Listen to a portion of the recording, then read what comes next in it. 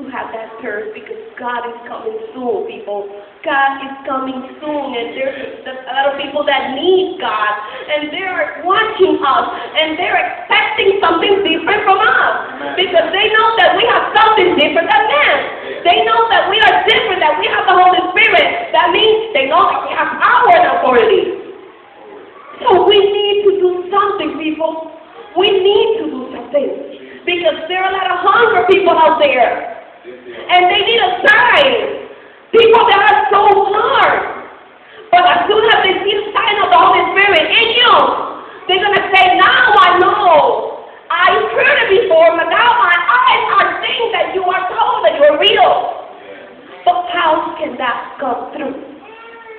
If the body of Christ get together and seek more of our God, seek more of the Holy Spirit to tell God, even though you know me, Lord, but here I am. Here I am, Lord. I am thirsty. I am hungry. And I want